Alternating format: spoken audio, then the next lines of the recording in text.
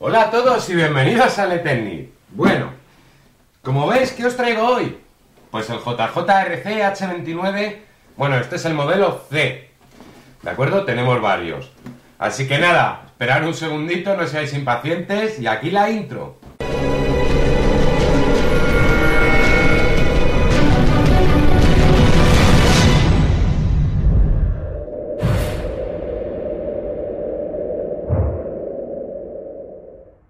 Bueno, lo que os digo, el H29, bueno, como veis le tengo fuera, le he puesto ya las patitas, las que veis que son muy blanditas y absorben muy bien los impactos.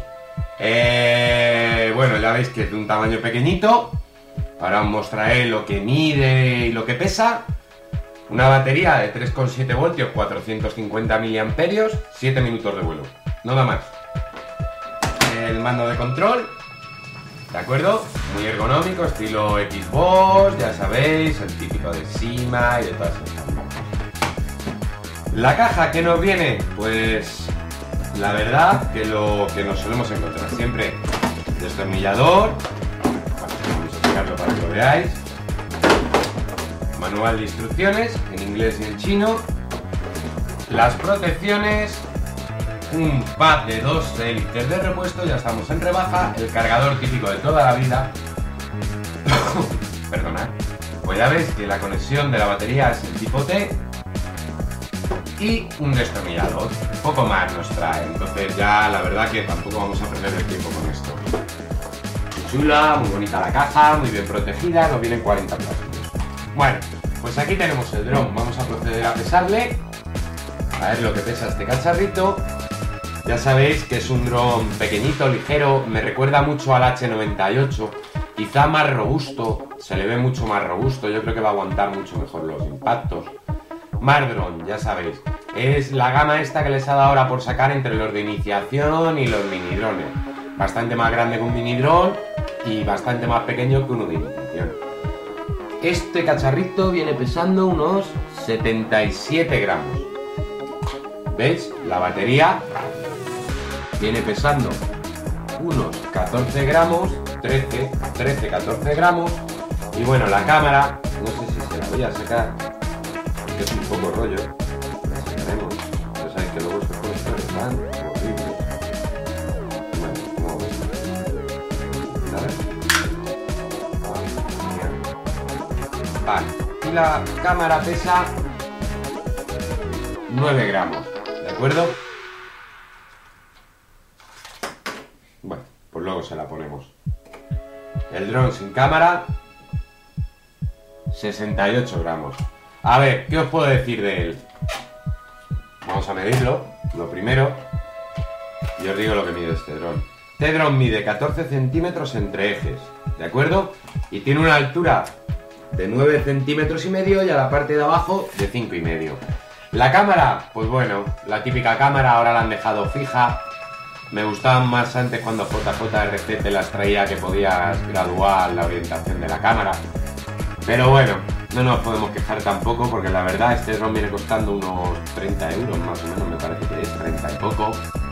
Y está bastante bien. compartimento de batería le tenéis aquí. ¿Veis? Eh, la batería entra bastante bien. Yo creo que es mucho más grande ya no, porque veis es una de las finitas. Y conectaríamos el conector meteríamos la batería, que hay espacio, ya os digo, yo no sé si entrará una de 500, ya lo probaré, y cerraríamos la tapita, eso sí está bien. ¿De acuerdo? Y bueno, poco más. ¿Cómo vuela este dron? Pues bueno, me imagino que estaréis viéndolo en el vídeo. Como vuela es un dron bastante rápido, yo no esperaba que fuera tan rápido, la verdad que no me esperaba nada, digo, será, yo qué sé, otro dron como tantos de estos, porque cada día sacan uno, la estética ya la veis, brutal, súper bonita, eh, ¿Qué más? De velocidad, pues lo que os digo, de velocidad está muy bien. Giro sobre su eje no está mal tampoco. No le podemos pedir gran cosa, ya os digo, graba bastante bien la cámara, no es nada del otro mundo. El giro sobre su eje, resistente y poco más puedo decir de él, la verdad, asciende muy bien, me ha gustado muchísimo. Muy divertido, ya lo veréis en el vídeo, ya os digo, es increíble como vuela.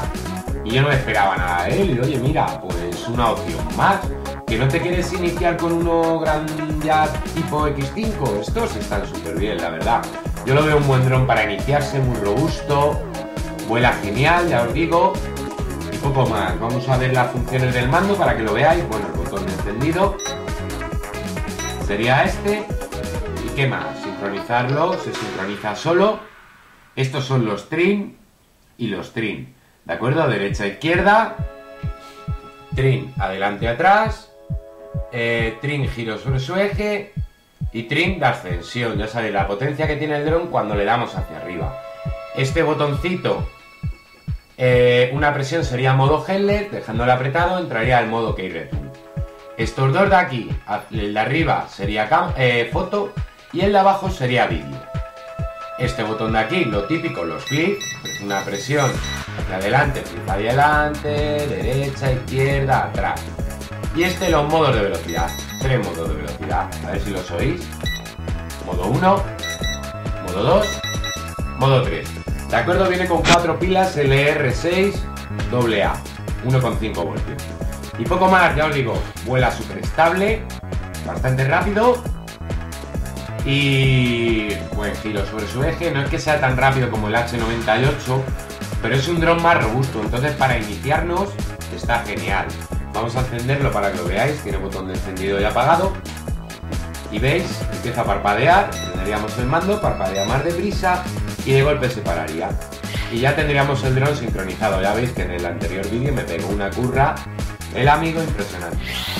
Ya tenemos el dron y como veis es un dron súper estable, pero súper estable. Es un dron que podemos volar tanto en interior como en exterior, porque con este tamaño en un salón medio ya lo podemos volar, hombre, no podemos hacer el cabra súper rápido, pero en modo 1, modo 2 como mucho, lo podríamos utilizar. Así que nada, chicos, espero que os haya gustado el vídeo. Nos vemos en un próximo vídeo del canal, ya sabéis. Si os gusta el vídeo, darle like, comentar y suscribiros. Y si queréis algo, ya sabéis, para eso están los comentarios. Y nada, chicos, nos vemos en un próximo vídeo. Hasta la próxima.